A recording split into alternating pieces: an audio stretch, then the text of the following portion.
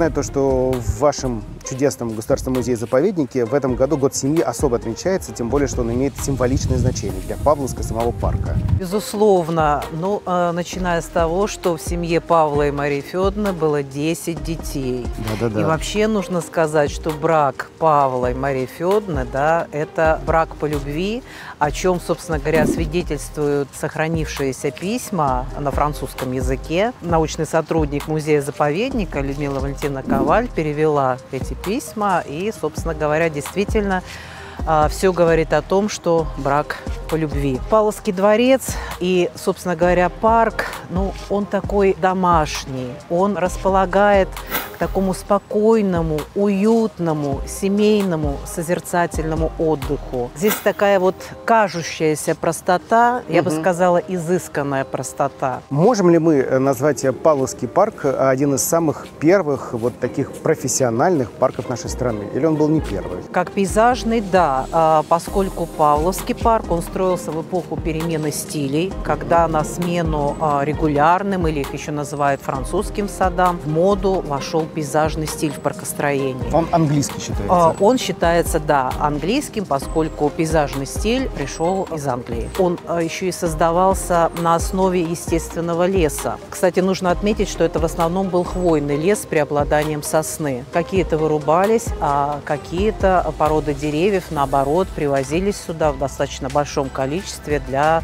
а, обогащения ландшафта. Светлана Михайловна, мы с вами подошли к еще одним важным э, жителям Павловского парка, вот к этим дубам. Я знаю то, что вы в этом году с ними осуществляете какую-то неимоверную спасательную операцию.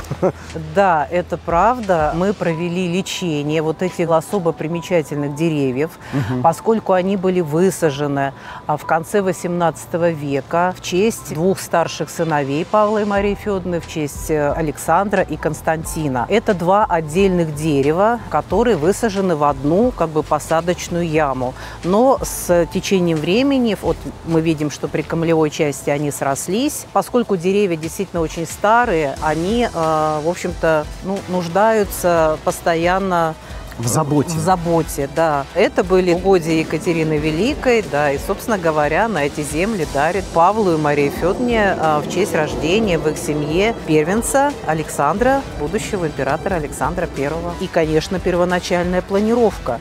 Вот тройная липовая аллея, по которой мы с вами шли, которая является парадным подъездом ко дворцу, она построена по проекту Чарльза Камерона. Собственно говоря, ему принадлежит и первоначальная планировка дворца, и э, множество павильонов парковых. Мы все-таки гуляем уже и находимся в относительном преддверии одного из главных таких летних событий, которые в Государственном музее-заповеднике Павловца проходит. Я имею в виду фестиваль грандиозный «Императорский букет». В этом году я знаю то, что вы объединяете сразу несколько идей, которые в том числе связаны с направлениями восстановления возрождения некоторых исторических зон Павловска. Да, действительно, у нас в этом году императорский букет э, посвящен возрождению музыкального вокзала. Расположен он будет на своем историческом месте, Вот где мы э, гуляем где сейчас. вот как раз мы сейчас с вами гуляем. И впереди перед нами вот закладной камень. По сути, вот это то место, где располагался музыкальный вокзал. По центральной оси вокзала чугунный фонтан, который тоже будет, конечно, отреставрирован. Рядом восьмиугольный фонтан с лягушками, который тоже ждет своего времени реставрации. Главная цель – это, конечно, воссоздание музыкального вокзала и э, возрождение той музыкальной куль- куль- культуры, да, которая э, царила весь XIX век и э, период 20 века вплоть до э, периода Великой Отечественной войны.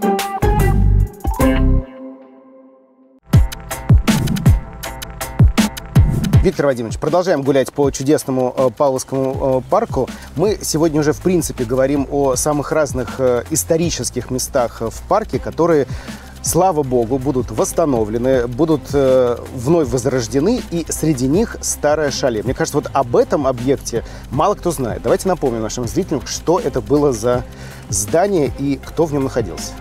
Да, неудивительно, что ныне живущее э, петербуржцы ничего не знают об этом объекте, поскольку с Великой Отечественной войны его просто не существует в Павловском парке. Это одна из первых построек, которые Мария Федоровна заложила э, в исторической части Павловского парка, недалеко, собственно, от дворца. Традиционный для 18 века контраст между внешним обликом строения и его интерьером здесь тоже был проведен во всей полноте. Скромная пастушеская хижина с облупившимися фасадами и соломенной кровлей внутри содержала роскошный интерьер с художественными росписями, с наборным паркетом, с резной позолоченной французской мебелью. То есть такой маленький дворец все Ма- маленький, крошечный. Летний дворец. Крошечный летний дворец, совершенно верно. Виктор Владимирович, оказались мы уже теперь э, за забором, то есть здесь, э, ну, я условно назову, строительная площадка, то есть то самое место, где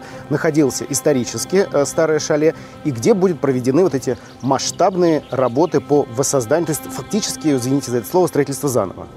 Э, фактически, да. Что уж тут скрывать, э, поскольку действительно объект утрачен полностью в Великую Отечественную войну, сохранились только фундаменты и нижние участки стен на несколько рядов кирпичей, угу. которые в начале этого года были раскрыты в результате археологических раскопок, и это позволило подтвердить правильность тех обмерных чертежей XVIII века, которые в музее-заповеднике имеются. Они полностью совпали с результатами раскопок, поэтому мы теперь с несомненной достоверностью сможем воссоздавать план сооружения, его габариты и его внутреннюю отделку по имеющимся у нас историческим материалам.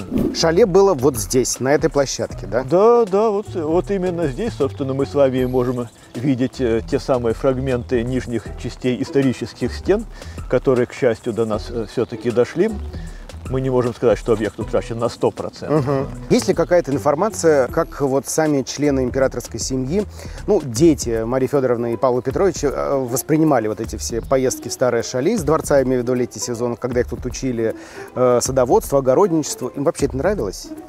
Э, несомненно. Несомненно, потому что как раз в воспоминаниях всех э, детей Марии Федоровны, включая государя Николая I, угу. который тоже воспитывался таким образом, есть очень теплые слова об этом э, периоде их жизни. И это доказывается тем, что и Николай I, и великий князь Михаил Павлович, который был владельцем Павловска после Марии Федоровны, они, собственно говоря, Э, музеифицировали угу. этот объект. Он стал э, музеем, посвященным Марии Федоровне и вот этим вот э, их практическим огородническим занятиям уже тогда, в начале 19 Такая века. Память о матушке. Да, да. Здесь, здесь сохранялась та садовая утварь, угу. которой дети пользовались в тот период, посуда. Частично она сохранилась в фондах музея угу. до сих пор. Поэтому, наверное, это был вообще один из первых музейных объектов на территории Павловского парка вообще. Thank you